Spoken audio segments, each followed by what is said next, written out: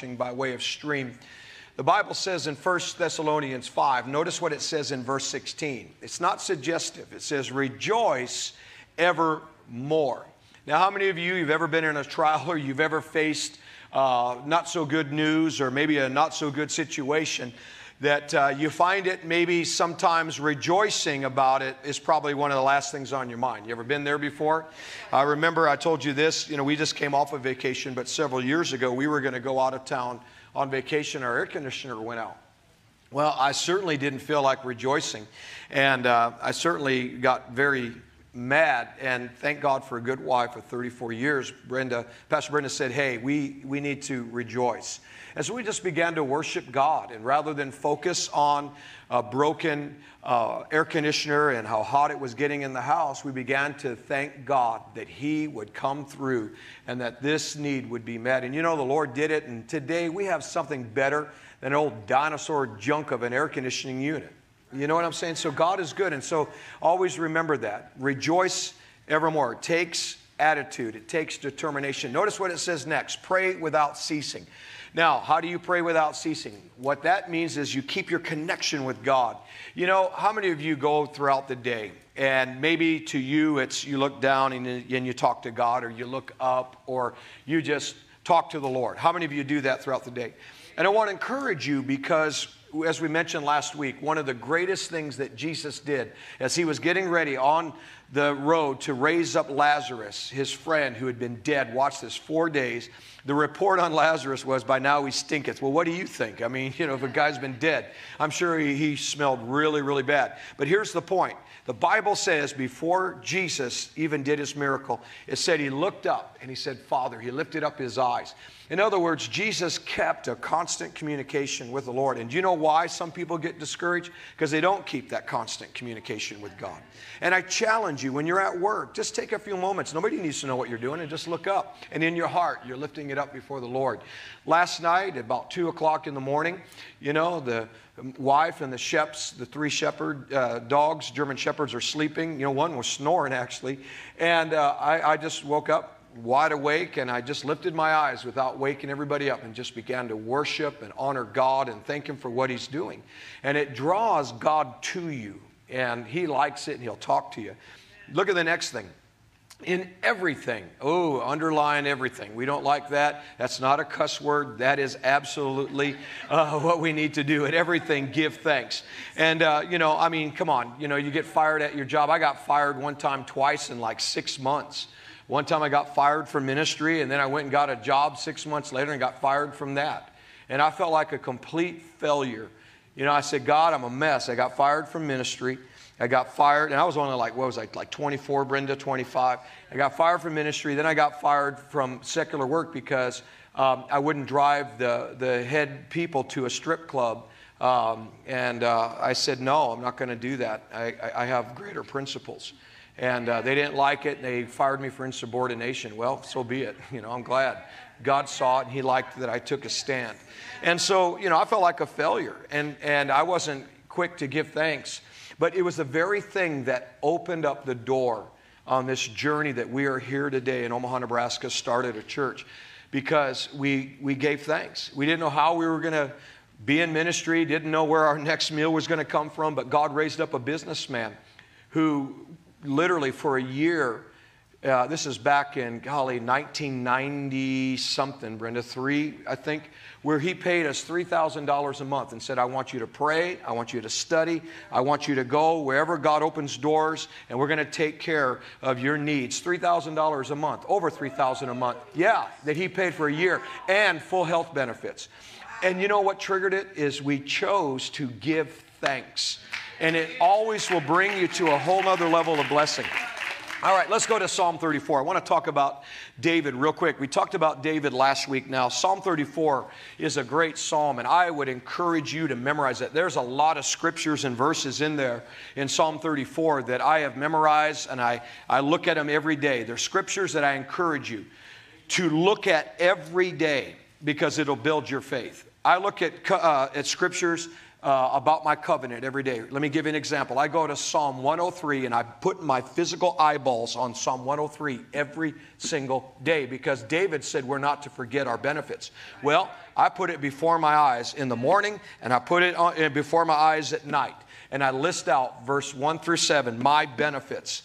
Okay, well, what are those benefits? Well, He forgives us of all iniquity, He heals us of every disease, He redeems our life from destruction, He crowns us with tender mercy and loving kindness, He satisfies our, our mouth with good things so that our youth is renewed like the eagle, He executes righteousness and justice for all those that are oppressed, He casts my sins as far as the east is to the west. I mean, what, what more is there? So I make myself and my spirit and my soul and my physical body look at certain scriptures every single day that I know that I know that I know. I believe those scriptures 100% and more.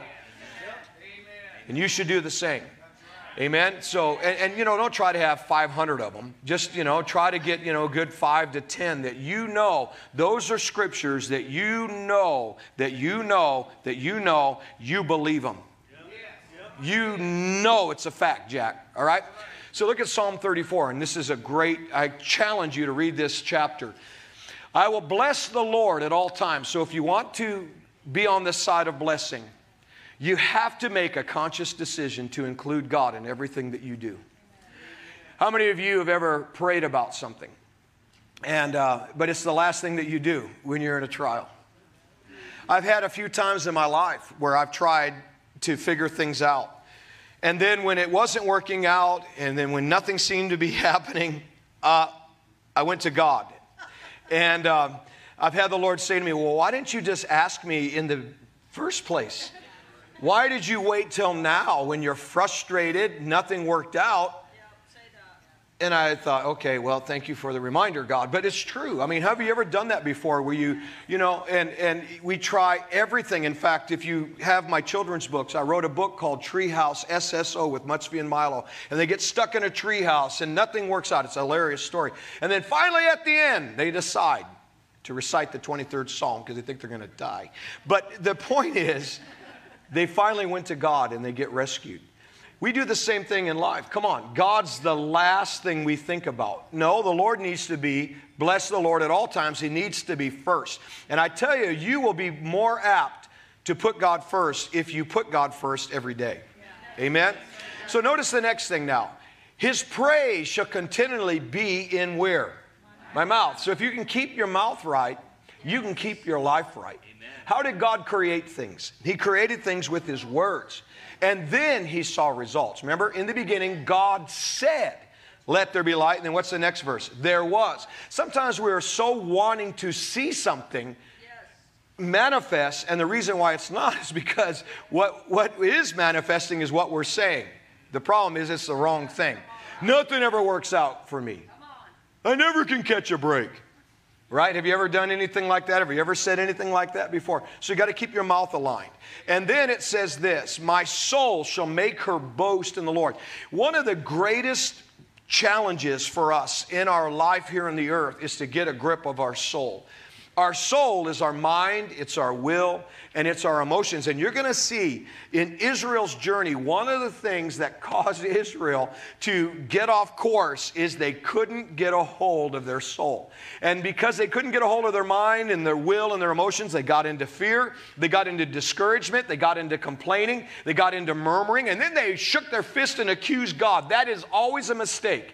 Never bring an indictment against God. Never even allow yourself to think that way. It is never God's fault. God is perfect. Jesus said it. He said, The Father in heaven is perfect. He doesn't make mistakes. And everything that He does is for your good and for your benefit. And never forget that. So you got to get a grip on your soul. And I was telling the, the first church, how many ever been horseback riding before? Anybody horseback ride?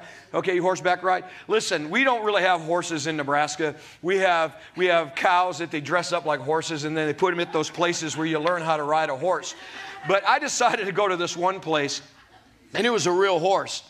And I grew up watching, you know, I love John Wayne, you know, True Grit and all that, you know. And so I thought I was John Wayne. I thought I knew how to handle a horse. And I hadn't even hardly been on a horse, not even one of those toy ones, you know. And so I get on this horse, and, and, the, and the guy's talking. He's giving instructions on how to do things, and I'm not listening, you know. Yeah, and the horse was kind of going, I don't think that's what they do, but it kind of sounded like a horse.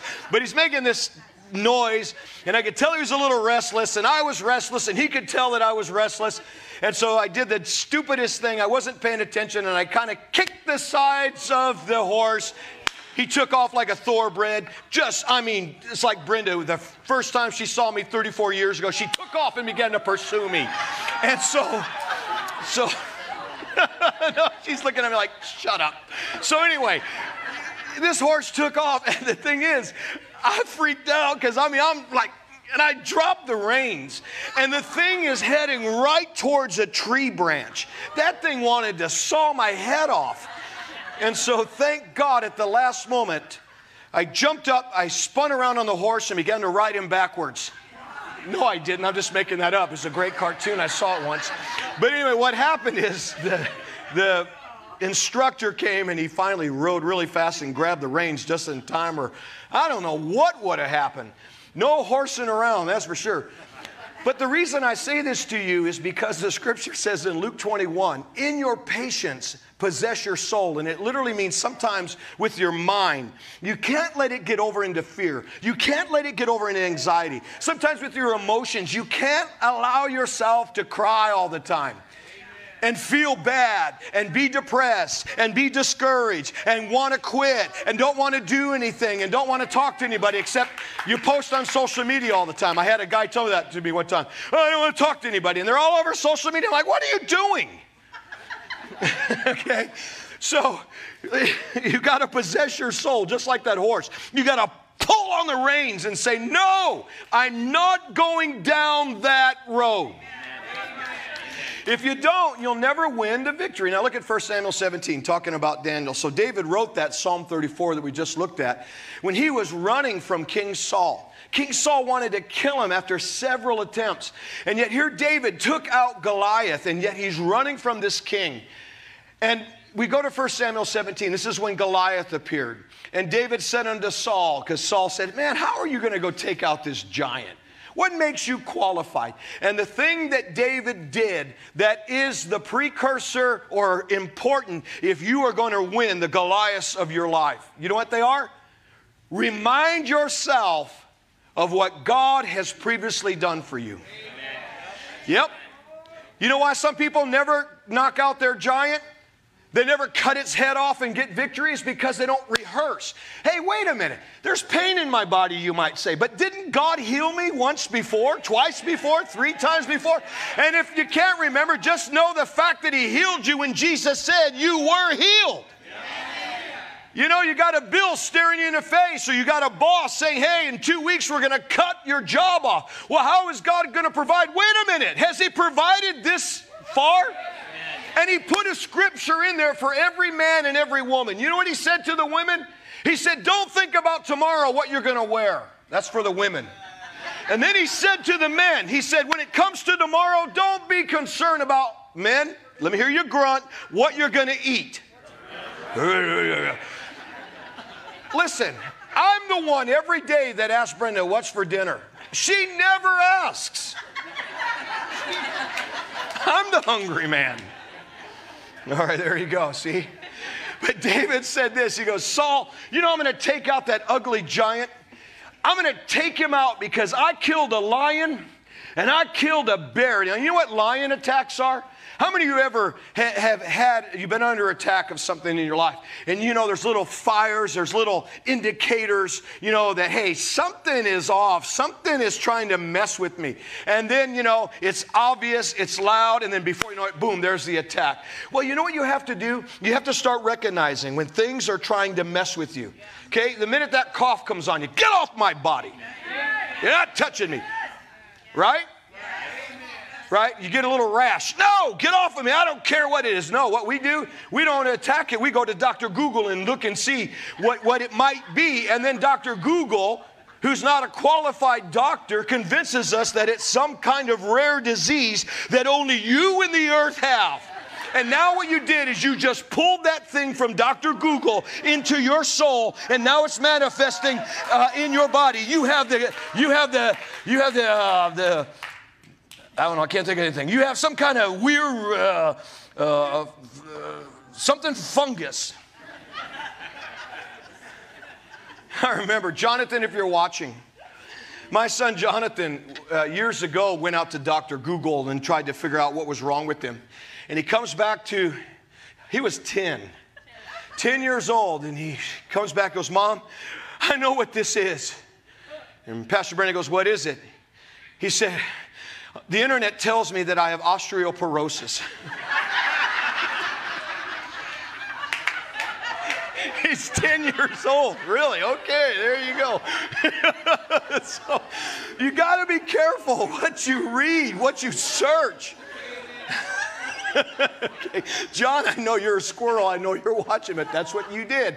All right, now look, the next one is a bear. Bears are these hibernating attacks. It's like, you know, we're getting ready to go on vacation. Next thing you know here comes our air conditioning unit out of nowhere that breaks.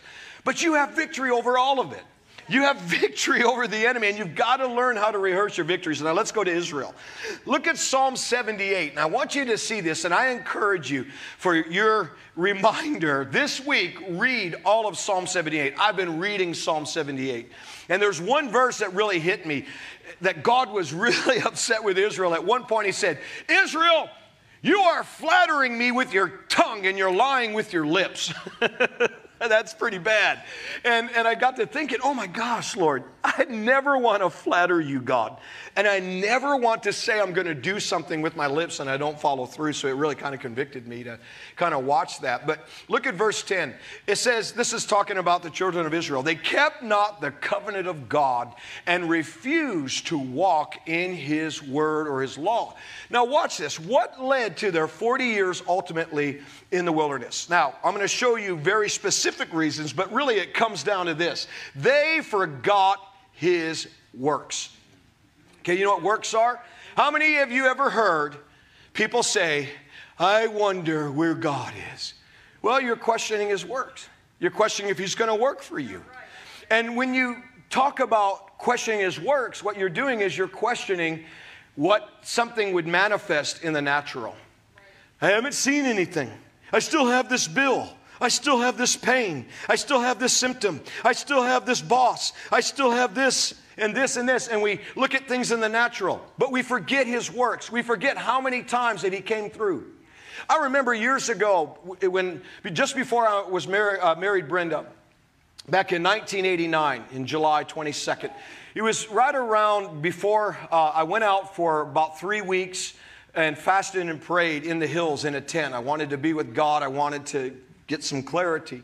And before I went out for three weeks in a tent, I prayed in the church sanctuary and I was praying. And I heard the Lord say something to me. He said, Hank, he said, I have to ask you a question. I said, okay. He said, why do you, he said this always. So if God says always, it means I must have been doing it. He said, why do you always pray about things that you can do in your own power?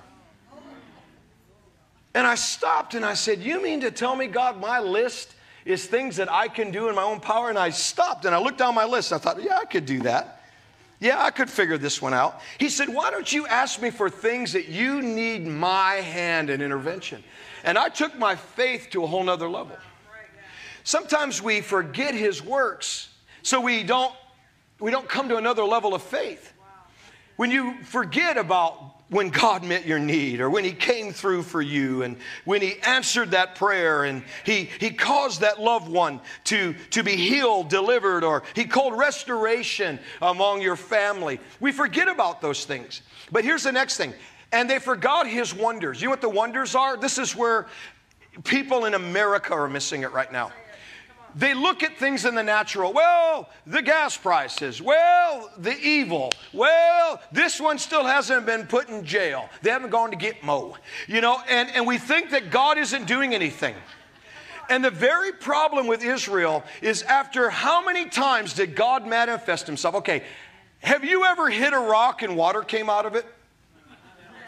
What would you do if you were in a desert and Pastor Hank, with a big long beard, said, Don't worry, congregation, I have the answer. And I grabbed a stick and I hit a rock and water came out. You would know that God moved, would you not? You would think that Israel would be like, wow, this is really powerful. Okay, say that we're now being pursued by a bunch of liberals and, and, and RINOs, and they're chasing us. And now we're on a beach, and all of a sudden I have this American flag in my hands. And I say, Don't fear, people. God's going to make a day. This is American, New American Version. And I hold up the flag, and God opens up the whole sea, and we walk across it. Would you think that was powerful? Would you question God after that? Now, I, I did say this to the Lord before. I said, God, I don't know if I would have. I don't know after seeing 10 miracles of you delivering Israel from Egypt with the plagues, opening Red Sea. I would think that I wouldn't be among those that would complain. I don't think I would. But man, I'm just glad I didn't have to face that. But here's the point they forgot his works, and then watch this his wonders. Here's what people are doing today Wonders speak of what makes you wonder. It, it, it, it, talks about the supernatural intervention of God. People are looking too much at political uh, maneuvering. Military maneuvers, uh, uh, political candidates, elections, laws, bylaws, courts, Supreme Court. How is all this going to turn out? And we forget the supernatural component of God. Imagine how hopeless it looked when Daniel got thrown into a lion's den. It looked like he for sure would have been eaten. And they would have gone in to look for Daniel, and guess what? He would have been in their stomachs, the lion's stomachs. They didn't expect God to have a supernatural component. When Shadrach, Meshach, and Abednego are in the fiery furnace and they turn it up seven times hotter, they didn't expect there to be a supernatural component of a fourth man appearing. And this is where we in America, listen to me, have to realize if we will pray, if we will trust God, we will continue to see divine intervention. But these people forgot God. They forgot His works. Look at another thing Deuteronomy chapter 4. Look at verse 3. God says, Take heed to yourself. And notice what He's telling you to watch over. And keep your soul diligently. What did I just talk about? Your mind, your will, and your emotions. He said, Keep your soul. That's why Israel got discouraged. They didn't keep their soul. That's why they got into fear. They didn't keep their soul. That's why they complained with their mouth. They didn't keep their soul. If they would have kept their soul in line with God's works that He already did and His supernatural wonders, they wouldn't have wandered around 40 days and 40 nights. And how about this? You mean to tell me that you're doubting God when every morning He's providing breakfast? Yes. They're called manna wafers. And it was milk and, you know, bread from heaven. Every day, God provided their food. Every single day. Now, how about this, women? I know you probably don't like this because you guys like to shop, but they didn't have to shop. Their shoes never wore out. Their clothes never wore out. I mean, just the fact that the kids, as they're running up the rocks and running through the sand, they never ripped their clothes, it never wore out. There was a supernatural component of provision every morning to remind them that God is faithful. But none of that, what they were wearing was proof that God is supernaturally preserving and taking care of these people. How about this one? You get up every day and it's 118 degrees. Some of you, you're experiencing those temperatures, and we're going to see it in Omaha next week, hundreds. But every day there just happens to be this cloud that appears to protect you from getting sunburned. And then at night, when you have to use the restroom in the middle of the desert, there just happens to be fire so that you don't go to the wrong place where there's scorpions and snakes. Do you all think that way? Okay, never mind. I just, I just, that's what I think. You got to keep your soul diligently lest you forget the things which your eyes have seen. See, that's the problem. Have you ever seen God answer your prayers? Have you ever seen God do something in your life or in the life of somebody else? Then you have to put it in your heart because it says, Lest they depart from your heart all the days of your life. And it says you got to teach it to your sons. So let's look at Israel's journey very quickly for the sake of time. The first thing we realize is that Israel was in bondage. Look at Exodus chapter 1. It says they were afflicted. They were grieved, the Egyptians, because of the children of Israel. And you got to remember, don't ever think for a moment that the government is your answer. Government assistance is your answer. They will always look for ways to get you to depend upon them, the government, so that then once you depend on them, they can control your freedoms. That's how socialism and communism took over Russia and all of, the, uh, of Europe in the days of, of when we saw the world wars. The Nazis, Hitler promised them all this stuff, and they, they, they went for it hook, hook, line, and sinker. And the next thing you know it, took their freedoms away. And then marched them off to concentration camps.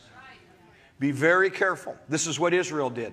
They handed their freedom to, to a socialistic government in Pharaoh. So you can read on in Exodus 1, they were slaves. They were under rigorous treatment. I mean, it was horrible. But God did something. Look at Exodus 3. In Exodus 3, we'll paraphrase it. God said, I am the Lord God of your father, the God of Abraham, the God of Isaac, and the God of Jacob. Why did God say that? This is very important for those of you that are believing God in your life and those of you that are believing God for your nation.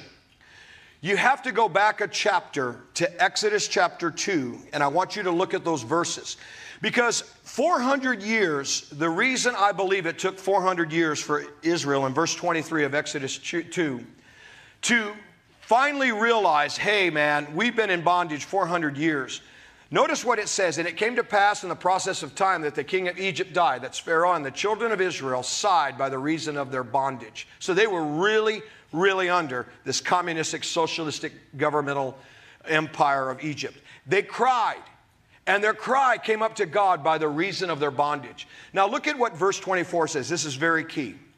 And God heard their groaning, and God remembered his covenant. Notice it said, Who remembered? God. Why did God remember his covenant? It's called mercy. Why did it not say that Israel remembered their covenant? Israel, for 400 years, accepted the loss of their freedoms. America, be careful when you're watching lamestream media. Pick and choose what they want to report, what they choose to leave out, like laptops and Ukrainian funny business. And what, watch what they choose to focus on as a distraction instead.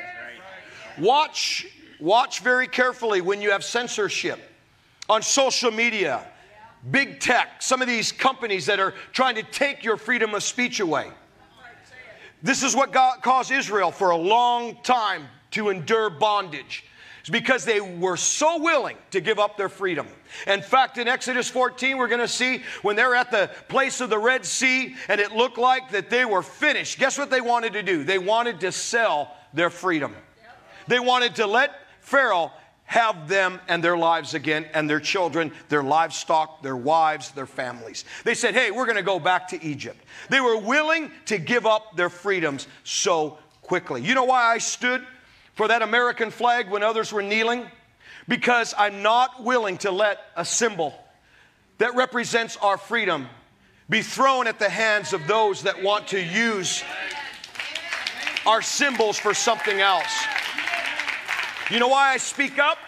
And I say what I say, and I, for three years, have come almost every Tuesday night and done Flashpoint when I've got so much going on, is because I will not so easily give up my freedoms.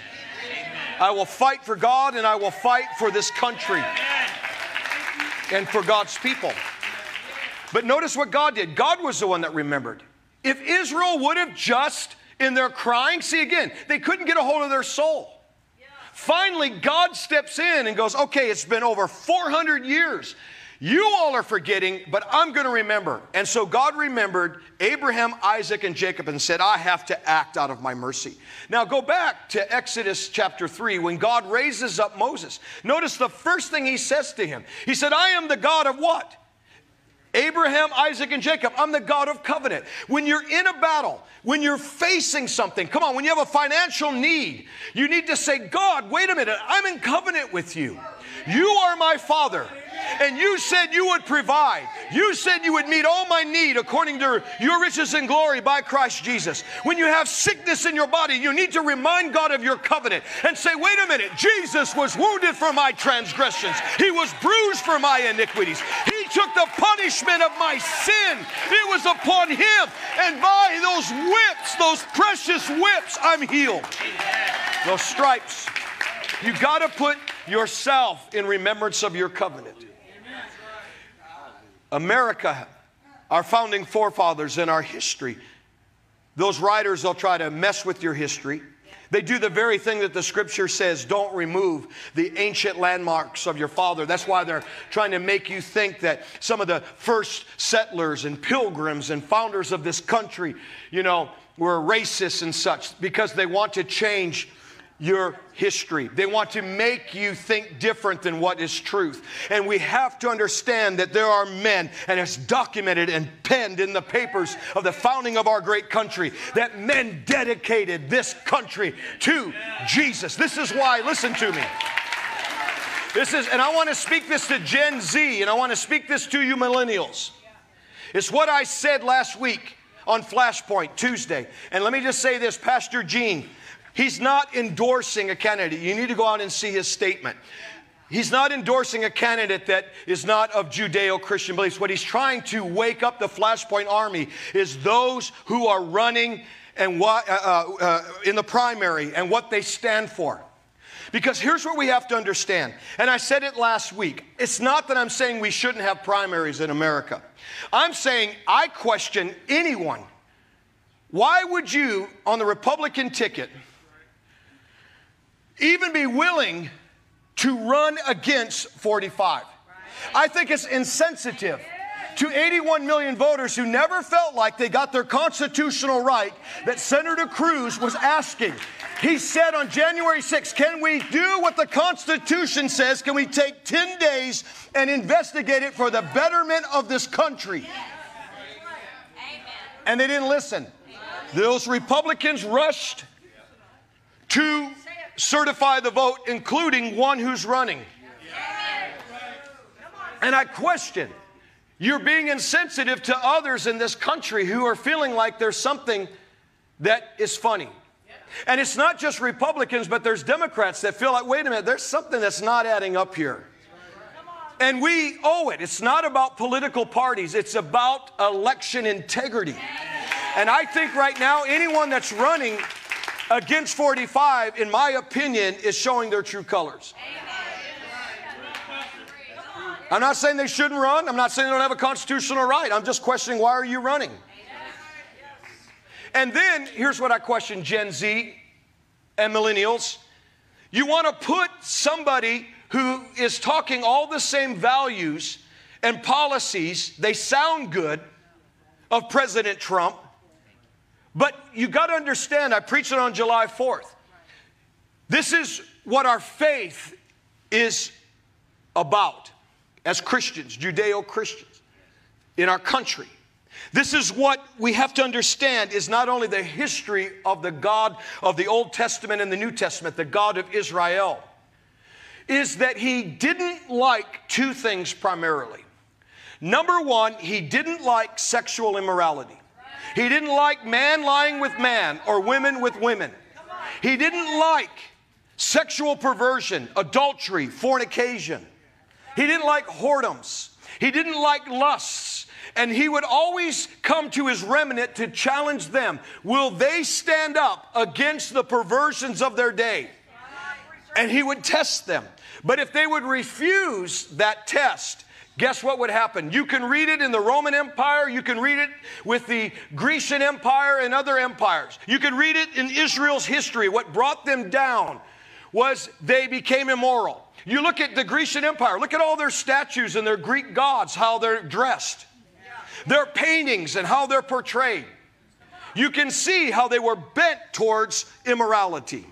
You can read about the Roman Empire just by Paul's letter in Romans chapter 1, where he talked about men lying with men. People, watch this, changing their image of the way they were created, either a male or female, after the other things of this world, paraphrase.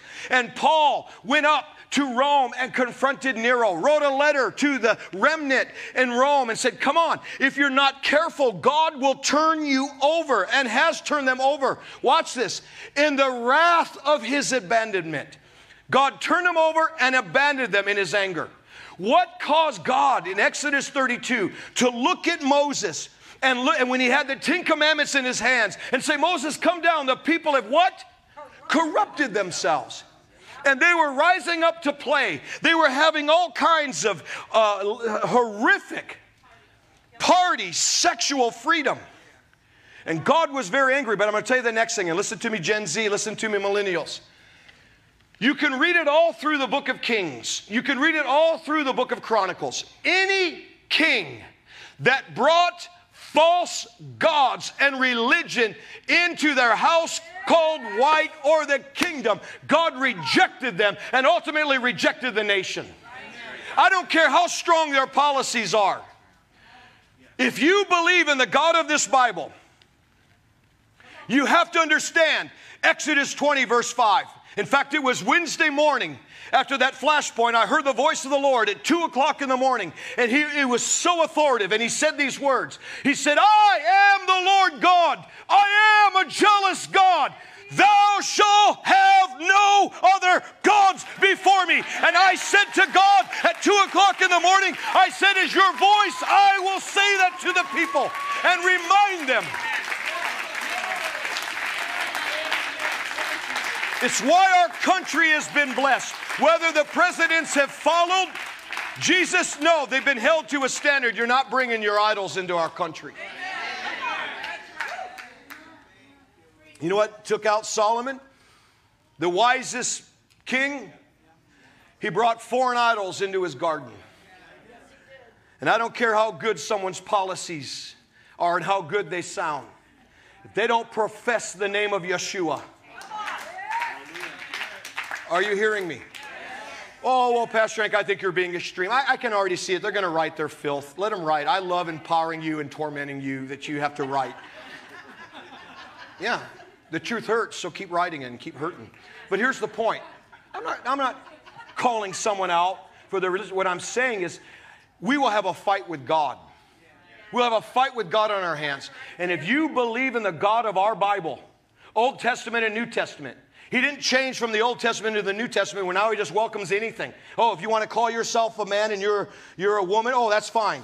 If you're, a, if you're a man and you want to dress up like a woman in your imaginative world, uh, I will endorse. No, no, no, no, no. That, no, it's the same, same.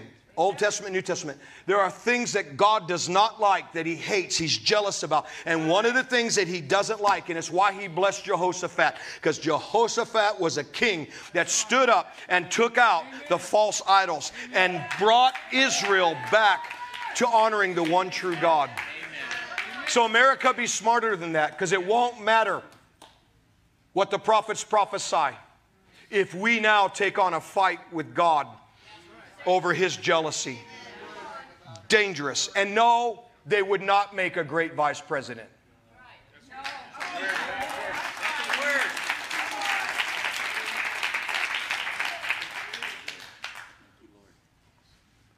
We all here? Okay. Exodus 14. Look at what happens. Israel, God, we know the story. God opens the Red Sea. Look at verse 27 through 31, God absolutely opens the Red Sea and then he causes the Red Sea to close. And notice what he does in Exodus 14, verse 27. He absolutely caused the Egyptians to be overthrown in the midst of the sea. Look at verse 28. And the waters returned and covered the chariots, the horsemen, all the hosts of Pharaoh that came into the sea. And there remained not so much as one of them. Let me ask you this When we, get, we, we sit there and we say, How much longer? Is anything going to get better? How many times are they going to keep getting away with their policies, their laws, their wickedness, their corruption, their sex trafficking, and the list goes on? Do you really think that God is somehow different? No. He's not. He's the same yesterday, today, and forever. What he's looking for with this church is to quit saying those things and recognize that there is something that is absolutely God, and, and it's, it's his very being. In fact, it's at the foundation, okay? So if you build a house, your house is only as good as your foundation. Your, your house is only as strong as your foundation. You know why God is perfect? You know why God can't be argued with? Because the foundation of what his supreme power, majesty, glory is built on. It's built upon something. It's called righteousness and justice. Yes.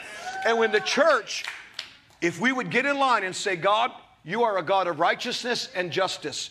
We demand your righteousness. We demand your justice. If we will say that, it will be amazing how many people will be held accountable for what they've done. Now, look at verse 31 on this point. Verse 31 Israel saw the great work which who did? Notice it didn't mention Moses. Moses was a part. It said the work which the Lord did. And this is what we've got to do in America in our lives. We've got to put our focus upon God, His supernatural invent, uh, intervention. And, and what the Lord did upon the Egyptians. And the people feared the Lord, believed the Lord, and his servant Moses. Now, look at what happens. Exodus 15. I want you to see this. So there's a praise party that breaks out. Verse 1 they began to sing unto the Lord. Look at verse 22 and uh, watch the time frame from after God opens the Red Sea, gives a victory over Pharaoh and his army. Watch what happens after their three day uh, revival camp meeting in the wilderness. Moses brought Israel from the Red Sea. They went out into the wilderness of Shur and they went three days and found no water. Notice what they did. They began to complain. And when they came to Marah, they could not drink of the waters because they were bitter. Notice what they did, verse 24. They began to murmur. They had a heart murmur. They began to murmur from their heart. They began to complain. And I'm telling you as I close this message today, one of the things that will cause us to get off track and, and to cause us to wonder why aren't things quite working out is if we open our mouths and begin to go down the journey of complaining. Well, I'm single, I can't find anybody. Well, maybe you can't find anybody, but God can, and God does. In fact, He's the one that said to man, It's not good that you should be left alone. That wasn't Adam's idea, it was, it was God's. And that's why when is how women got their name, and you can't change that because I don't do that with some dude dressed up like a woman. But when Adam saw Eve, he goes, Whoa, man. That's how they got the name. Yeah. And the people murmured. Now, I want to show you this complaining. Let me just pull this out for you. Look at Numbers chapter 11, verse 1. Look at the danger of complaining. Numbers chapter 11, verse 1. This, this is really interesting. Numbers 11, verse 1. It says, And when the people complained, what did it do? How did God respond to their complaining? It displeased the Lord.